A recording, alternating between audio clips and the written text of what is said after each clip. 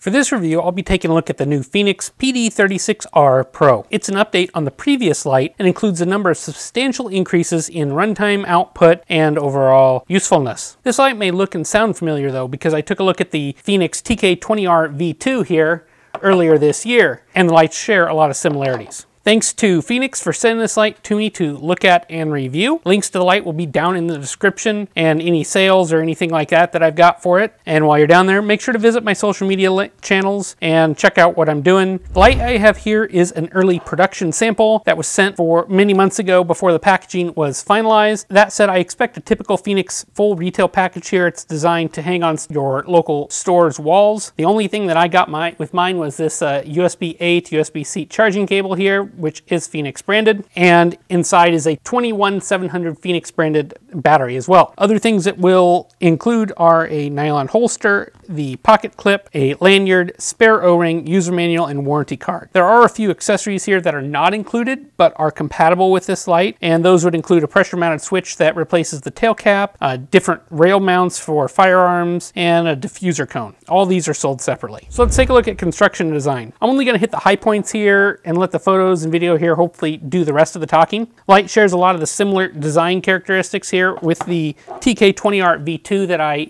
reviewed earlier in the year. As you can see here, very similar design language. The light is made from T6061 aluminum and nicely hard anodized in black here. At the tail cap, you do have your two buttons. This is your mode button and this is your on and off. Anytime you can hold your mode button when the light's off to get to strobe instantly. The button itself is mechanical and has a nice click to it. And as a result of those two, the light does not tail stand since that button is proud. You've got your lanyard attachment point here on the tail cap as well. The tail cap is removable without an issue. Threads are square cut, nicely greased. And while I've got it out, here is the battery like I said, it is a Fenix, it is protected, it is button top, but it is not proprietary, which is nice. It is rated at uh, 5,000 milliamp hour and I tested at 4890, which is great. The pocket clip here only mounts on the rear of the light. It's nice to see they include this.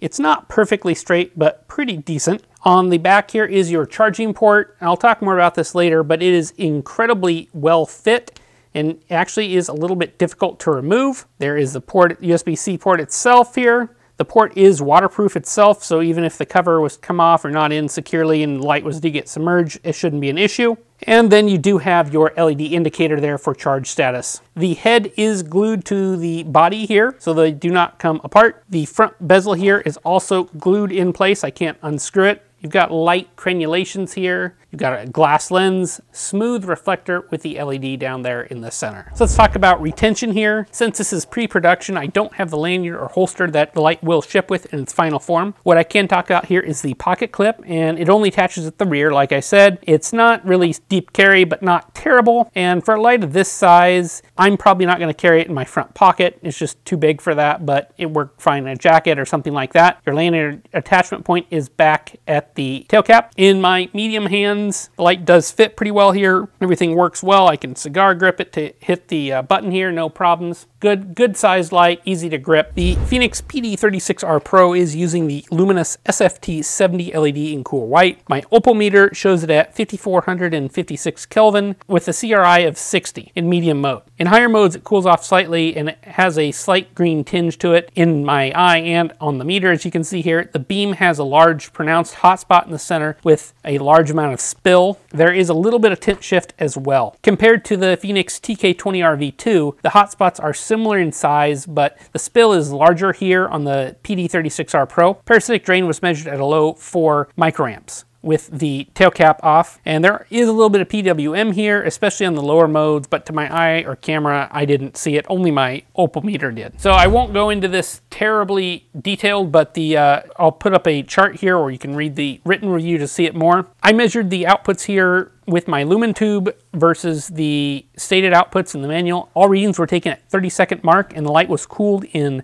cold water before each uh, measurement here. So heat buildup of heat wasn't an issue. Eco measured at 35 lumens, it was 116% of the claimed output. Low measured 157 lumens, it was 104% of the claimed output. Medium mode measured 349 lumens, it was 99.7% of the claimed output. High measured 978 lumens and 97.8 8% of the claimed output, and Turbo measured 2160 lumens, which is 77.14% of the claimed output. One little note on that, that is at that 30 second mark. Fenix is claiming 2800 lumens here, and it does hit 2800 lumens at the very beginning. It just can't sustain it at the 30 second mark. That's not real uncommon for a lot of flashlights, so I, I don't give it a dig. It's just how things are marketed. Here are the night shots for the Fenix PD36R Pro. This is running a Luminus SFT70 LED, about 5500 Kelvin, but a rather low 60 CRI. I have it here on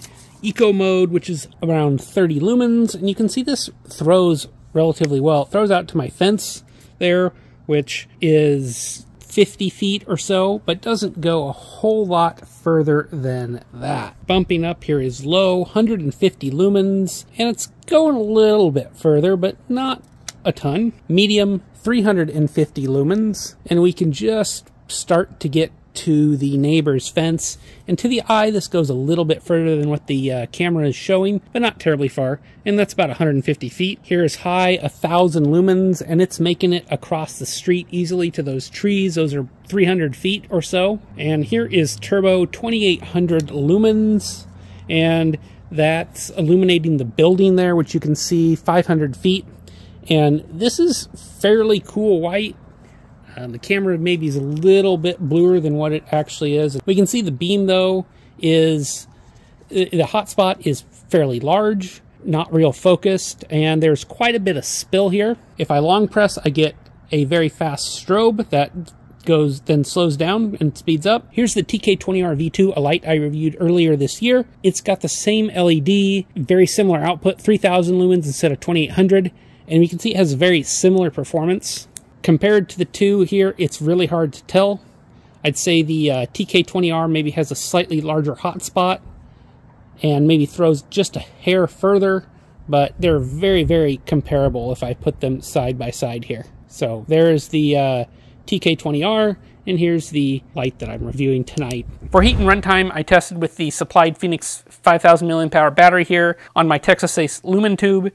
Turbo here started out at the claimed lumen output but by one minute it was stepped down to about 750 lumens because heat was building up to about 43 C. It increased the output some in the next 20 minutes here as heat dissipates, but the light has a substantial drop at 2 hours and 10 minutes, and then again at 3 hours and 20 minutes, and once more at 4 hours and 30 minutes, where the light runs at its lowest output for many more hours. Total runtime was right around 8 hours, and the light does flash a little bit in the last hour used to indicate the battery is low. I then did a comparison here between turbo, high, and medium runtimes, and there isn't really any any real surprises here. Lower outputs are more stable, have longer outputs, and run cooler. So the UI here is very easy to use. It's the same that was found on the Fenix TK20R V2. The light has two buttons, as I mentioned before. You've got on and then your mode button. You can press the mode button when the light is off and you'll get strobe instantly. Turn it on. The light does have memory, so it shows the last mode that was used. I think that was turbo. So here is low. I just press it again to go to up the ramp here each time. That button here is a forward quick clicky switch as I heard before. You can half press on that button as well to get the light to turn on without turning it on fully. When the light is on, you can press and hold and it will go to strobe as well. Overall, very easy user interface here to look at. Recharging on the PDX36 Pro is accomplished via USB-C here on the side near the head. The port is worth mentioning here. It's a really good port cover and you can see I did put the light in some water recently, so it's a little bit wet. Not an issue because that USB-C port is sealed and waterproof itself. This is one of the better cover designs I've experienced. It stays in place really well. It's actually kind of hard to get out sometimes, and it's out of the way. You're not going to catch it or snag it on anything. Arguably, it might even be a little bit too hard to open. I was able to charge the light via USB-C to C or PD chargers without a problem here. And one thing to note is you cannot use the light while charging. I charged the included 5000 milliamp hour battery from low voltage protection at 3.044 volts to full at 4.227 volts in 4 hours 13 minutes Charging starts off here slow for the first few minutes, then increases significantly with a peak of 2.5 amps before slowly declining. Total charge time was 4 hours 10 minutes. And one thing that was slightly concerning here was the terminal voltage was slightly too high at 4.227 volts. Not really sure if this is my multimeter, I don't think it is, or maybe due to the fact that this is a prototype light. When fully charged, the LED side indicator here will go from red to blue. So some final thoughts on the Fenix PD36R Pro. It's a pretty large upgrade over the older PD36R in nearly all the metrics, and it's overall a well-rounded flashlight. However, I can't help to draw on the large number of similarities between the TK20R V2 that I reviewed earlier earlier this year. Same LED, same UI, same battery, very similar performance, um, same tail cap and clip. Where they differ is the charging port cover and head size. The TK20R V2 is more of a tactical purpose, Fenix says, while the PD36R Pro is more EDC general use.